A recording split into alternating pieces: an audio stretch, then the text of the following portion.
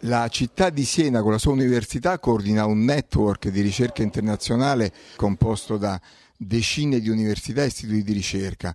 Qual è stata la vostra ricetta del successo? Intraprendenza, capacità organizzativa o offerta scientifica? Tutte e tre, diciamo, più c'è anche il fatto che Siena ha un'oggettiva tradizione in questi argomenti, nel senso che noi abbiamo avuto dei colleghi che già negli anni 80, quindi 30 anni fa, si occupavano di questi argomenti il che vuol dire che poi hanno creato una scuola, noi abbiamo avuto dei corsi di studio su questo, ricerca, pensiamo che la cosiddetta ecological economics, i nostri sono stati fra quelli che addirittura hanno fondato, addirittura il professor Tiezzi ha contribuito a definire il concetto stesso di sustainable development, quindi c'è sia la tradizione sia anche la presente eh, forza e interesse sull'argomento dell'Ateneo. E poi sottolineerei anche il contesto, nel senso che eh, Siena è un luogo dove la sostenibilità sociale si, si vede camminando per la strada e la sostenibilità ambientale andando in campagna, in giro, si vede cosa vuol dire sostenibilità. Tutta una serie di, di elementi fanno sì che siamo molto orgogliosi di questo.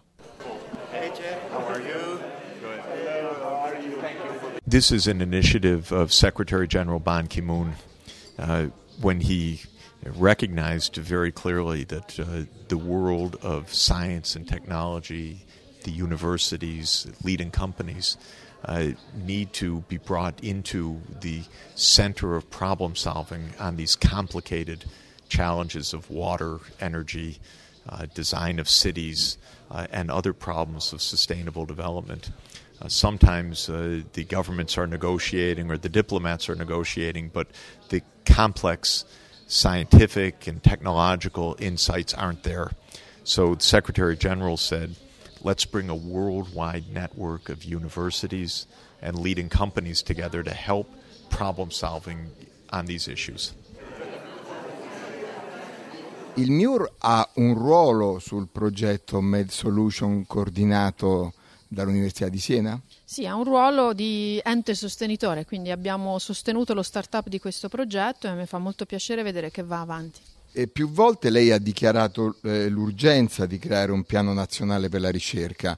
Eh, ritiene eh, che sia arrivato davvero il momento e, e, in particolare in che cosa consiste? No, deve essere fatto, quindi siamo anche in ritardo e stiamo partendo proprio in questi giorni con questo piano nazionale che sarà un piano molto sintetico e molto breve, ma riguarda la grande integrazione del sistema della ricerca pubblica italiano e riguarda le linee strategiche lungo le quali vogliamo sviluppare le nostre competenze e le nostre aree di ricerca.